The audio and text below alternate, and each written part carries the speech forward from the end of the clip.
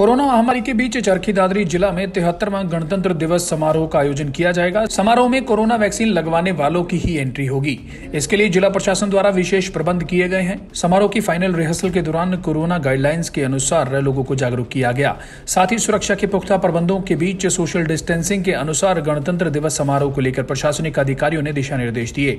प्रदेश के राज्य मंत्री ओम प्रकाश यादव यहाँ ध्वजारोहण करेंगे। कोरोना के मद्देनजर इस बार भी गणतंत्र दिवस समारोह सरकार की गाइडलाइंस के अनुसार आयोजित होगा। समारोह में आपसी दूरी बनाकर ही परेड की तैयारियाँ चल रही हैं। पुलिस व सुरक्षा बलों ने कोरोना महामारी से बचाव के तमाम एहतियात बरतते हुए रिहर्सल पूरा किया है। डीसी द्वारा फाइनल रिहर्सल में ध्वजारोहण करते हुए परेड की सलामी ली गई। डीसी व एसी दीपक गहलावत ने संयुक्त रूप से परेड और कार्यक्रमों का जायजा लिया। समारोह में संबंधित को रिहर्सल के दौरान फुल ड्रेस में शामिल होने के निर्देश जारी किए गए। सारे सुरक्षा प्रबंध, चाक है, ठीक है, और छब्बीस जनवरी के लिए जितने भी हमने सिक्योरिटी अरेंजमेंट किए हैं सबकी आज भी रिहर्सल करी है ठीक है और सब इंचार्जेस को ब्रीफ कर दिया है।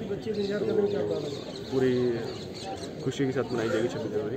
तो भीड़ भाड़ की व्यवस्था की सबकी ड्यूटी लगाई गई है उसके लिए ताकि भीड़ होती भी है तो उसको मतलब कंफर्टेबली उसको अरेंज किया जाए ठीक है और कहीं भीड़ भड़का ज़्यादा ना हो और ट्रैफ़िक की व्यवस्था भी ठीक रहे। आपने देखा गणतंत्र दिवस की?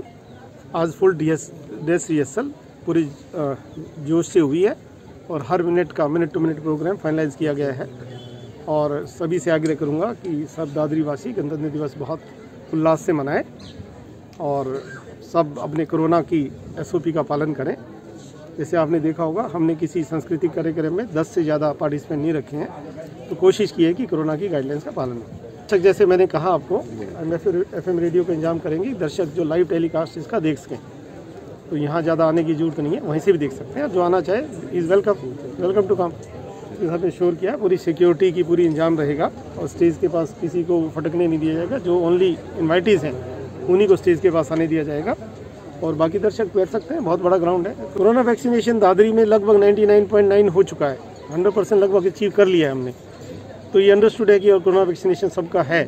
पर फिर भी हम गेट पे सुनिश्चित करेंगे कि कोरोना का सर्टिफिकेट जो भी है अपना साथ लाएँ मोबाइल में लाएँ फ़िज़िकल तौर पे लाएँ जैसे भी लाएँ लाएँ।